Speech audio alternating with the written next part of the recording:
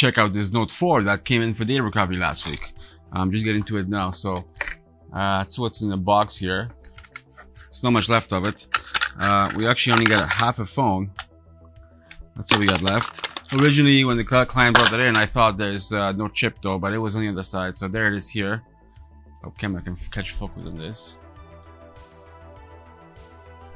There we go. All we got. So we're gonna do chip off on that phone. This is a dual layer chip, so we have uh, two chips stuck in each other. I've done the, this previously for YouTube video, but uh, let's remove it. Uh, what's gonna be challenging in this particular case is mounting it in the BGA workstation, which is the infrared machine behind me, uh, behind the camera there. Uh, so mounting it just so we can get enough grip so we can come in with our tool and we can kind of shimmy it between the chips and lift it. So let's mount it and see how it goes. Here we are in our infrared rework station. So the issue I was talking about is there's no real way to mount uh, uh, this chip right here or whatever's left of this board to mount it in here. Let me get a, a zoom here. So that's all we have to work with is this tiny board. So normally we have a whole board uh, so we can kind of mount it onto these um, these things here and we can mount it with a bit of this tape tape is super um, adhesive but the problem is now we're gonna have problem mounting it. So let me get a good angle here. I think the only way is going to be is to mount it like that. It would be useful if I had some kind of clamps. That I could hold it down that wouldn't melt but uh, I guess we're gonna have to work with what we have. I'm gonna adjust this. I also need the probe here so I can see what the temperature is like. No, I'm not gonna leave the probe just like that. We're gonna tape it uh, with some some of that adhesive aluminum tape. I don't know what uh, what what's the real name for these tapes. Uh, but there it is. So we're gonna get the probe up here. First things first, we need it to not to move. So we mount it here. And we got one more piece that's gonna go somehow Hmm. That's gonna be tough. We can put it over that.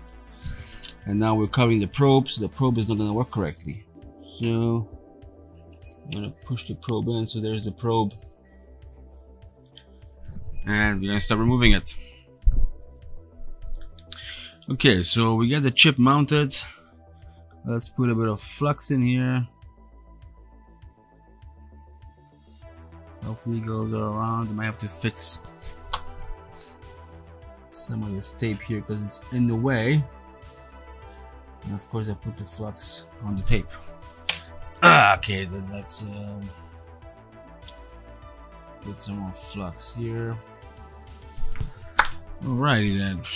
So the next step is to swing the arm on this thing and let's hit start. So I'm gonna use my trusty tool here to go in between the layers. And now that I wear glasses, I can see better when I'm going in between layers. So I'm probably gonna speed this portion up because this will take at least good 10 minutes to slowly heat up so then we can separate the two chips and uh, we can uh, read, it, read the chip.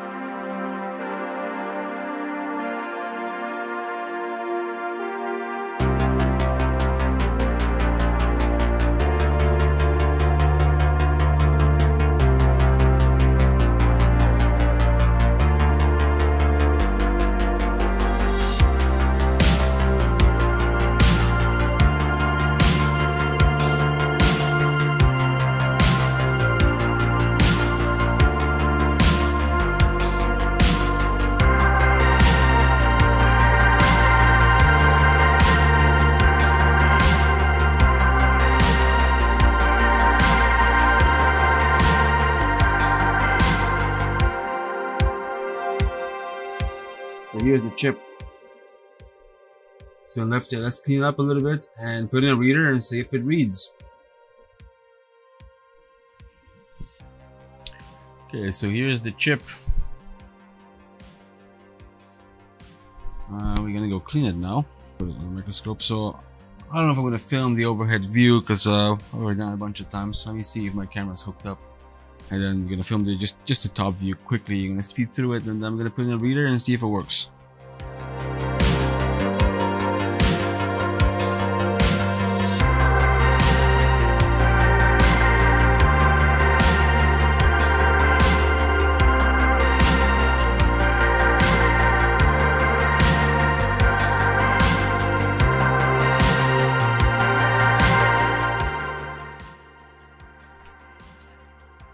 So the chip has been cleaned. Here we go.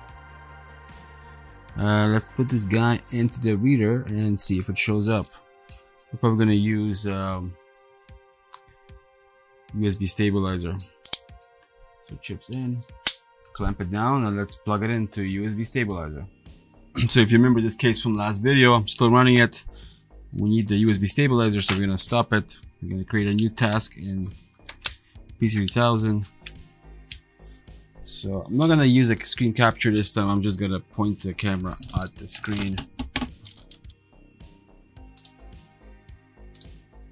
Power's on. I had to play around with it a little bit because it wasn't showing up at first, but there it is. So let's make a new case.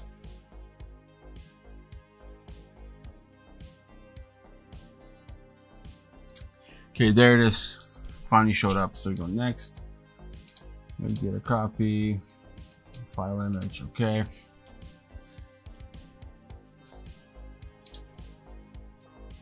And we're just gonna hit start and we're gonna create an image.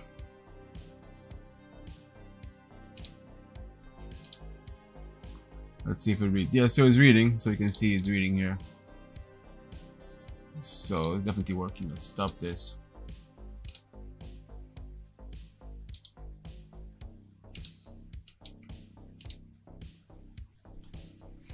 We can see multiple partitions. So it is it is definitely working. Let me move the camera here so we can see better.